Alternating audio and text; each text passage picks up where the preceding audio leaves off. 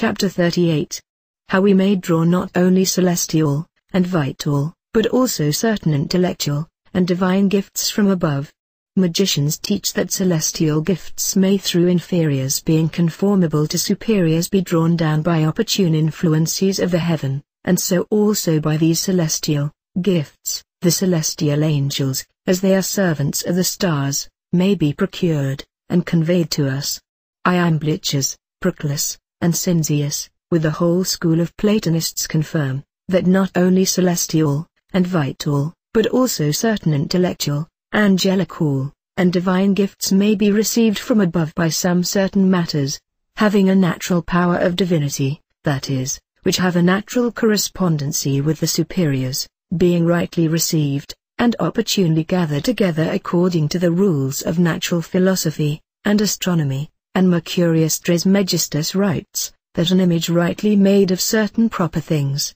appropriated to any one certain angel, will presently be animated by that angel. Of the same also Austin, St. Augustine, makes mention in his eighth book De Civitate Dei, the City of God. For this is the harmony of the world, that things supercelestial be drawn down by the celestial, and the supernatural, supernatural, by natural, because there is one operative virtue that is diffused through all kinds of things, by which virtue indeed, as manifest things are produced out of occult causes, so a magician doth make use of things manifest, to draw forth things that are occult, viz. Through the rays of the stars, through fumes, lights, sounds, and natural things, which are agreeable to celestial, in which, besides corporeal qualities, there is a kind of reason, sense, and harmony, and incorporeal, and divine measures, and orders. So we read that the ancients were wont often to receive some divine,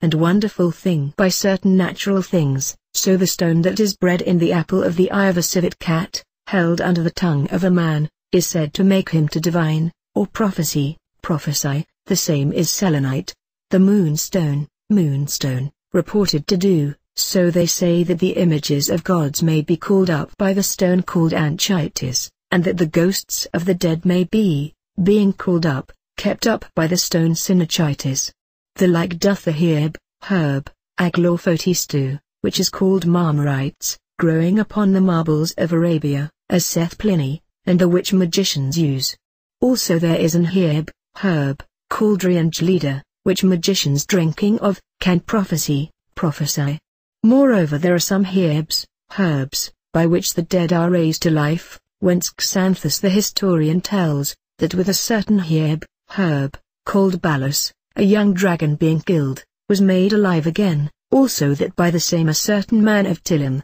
whom a dragon killed, was restored to life, and Juba reports, that in Arabia a certain man was by a certain herb, herb, restored to life.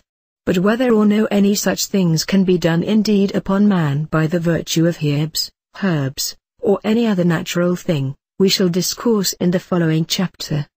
Now it is certain, and manifest that such things can be done upon other animals. So if flies, that are drowned, be put into warm ashes, they revive. And bees being drowned, do in like manner recover life in the juice of the herb nip, herb catnip, and eels being dead for want of water, if with their whole bodies they be put under mud in vinegar, vinegar, and the blood of the vulture, vulture, being put to them, will all of them in a few days recover life. They say that if the fish Echinus be cut into pieces, pieces, and cast into the sea, the parts will within a little time come together, and live. Also we know that the pelican, pelican, doth restore her young, young, to life, being killed, with her own blood,